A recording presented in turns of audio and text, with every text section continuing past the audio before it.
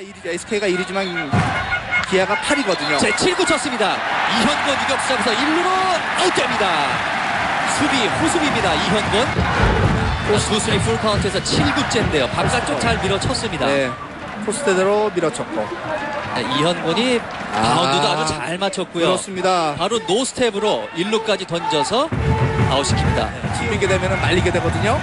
제 5구 삼진 당합니다. 서서 삼진 당하는 최정. 네. 자 오늘 세 개째 삼진 잡고 있는 로페스.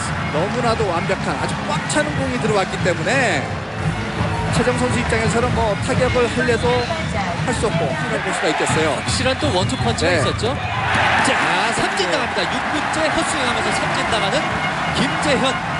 자 그러면 삼진 이번 이닝에도 두 개를 잡는 로페스입니다.